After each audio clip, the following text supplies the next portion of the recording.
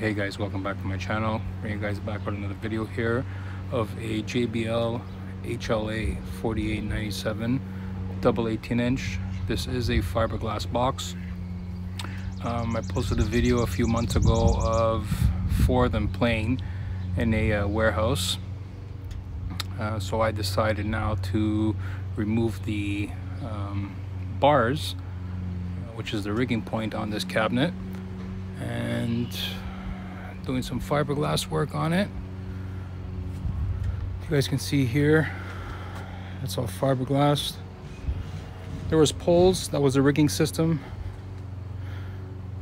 that was on this uh, cabinet. The poles ran across here down the middle across the bottom down the side. You guys see close up of what the back looks like it's a JBL 4897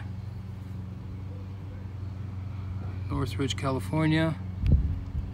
Those are NL8 connectors that are on the cabinet. You guys can see. Again, I'm going to be doing some work to this box.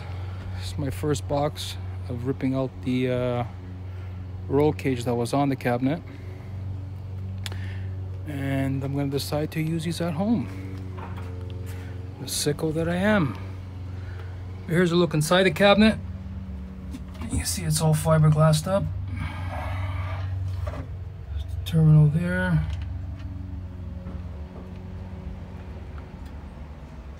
See there.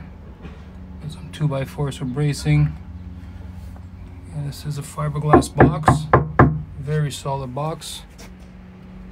It's kind of almost a design of a um, JBL Vertec.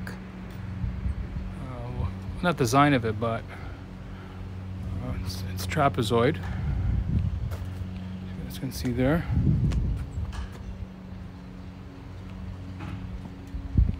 Again, doing some fiberglass work on it. There's gonna some sanding down here.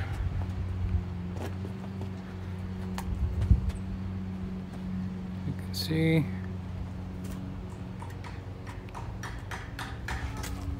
There's the port area for it. And the drivers that are using here are JBL 2242. JBL 2242. Um, yeah, so these are going to be used at home. It's going to be a process to get all these guys um, all cleaned up and all fiberglassed. It's the first process.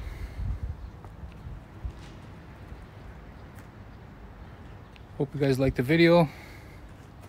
Don't forget to subscribe. Um, hit the like button. There'll be a few more videos posted up of the rest of the cabinets. I'll be definitely posting up another video when this one's done. Thanks for watching.